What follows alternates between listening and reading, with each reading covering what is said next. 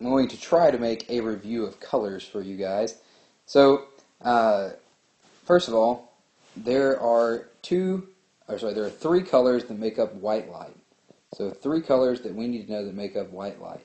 And these are just colors that humans perceive to make up white light because remember, light covers the entire electromagnetic spectrum from radio waves to gamma rays, and it was only a fluke that we happened to pick up uh, on the visible light spectrum. It's actually not a fluke, it's the most prominent.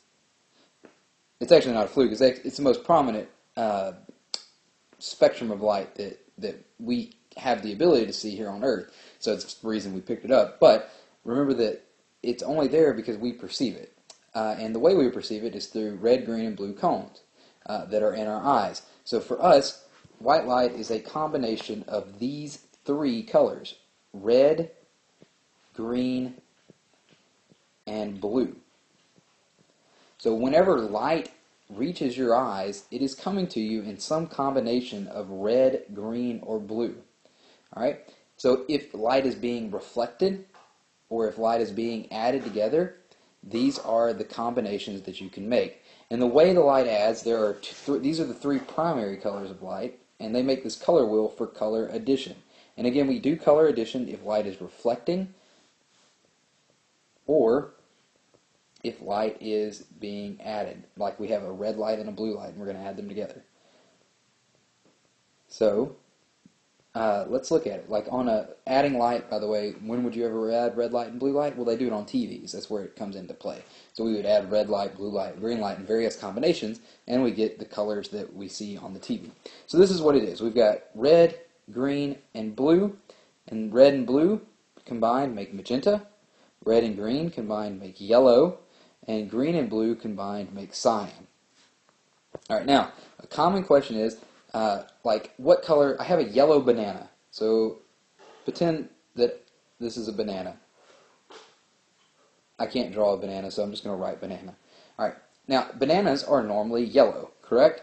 So a yellow banana is made up of which two colors? Which two colors are it reflect? Is it reflecting? Well, there's yellow, so I know it's reflecting red and green. So I'm going to draw this banana. It is going to reflect red and green. And those two colors combined make yellow. So, what happens if I shine different color lights at it? Well, let's do it. Let's do an example for these light colors. I'm just going to give you five light colors, and we'll just see what colors they make. Let's shine white light at it. Let's shine magenta light at it cyan light at it, uh, yellow light at it, and just for kicks, we'll shine blue light at it. All right, let's see what colors it makes. The only colors that this banana can possibly reflect are red and green. So if I shine white light at it, we have red light, we have green light, and we have blue light. The only colors that can be reflected are red and green. So whenever white light shines on this object, the light that's reflected back is red and green blue goes away. So since red and green is coming to our eyes, we see yellow. So if white light is shone on a yellow banana, we would see yellow. All right? So that's if white light.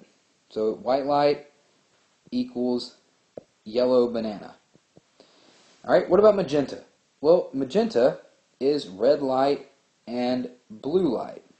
Remember that red and green are the only things that can reflect back. So if I shine red and blue on this banana, blue gets canceled out, red can be reflected back. So the color you see is red. So if you shine magenta, it's red. How about cyan? Well, cyan is made up of blue and green. All right, so uh, blue and green. And so red and green are the only two colors that can be reflected. And blue then is going to be absorbed. It cannot be reflected. The only color that can be reflected that's present is green.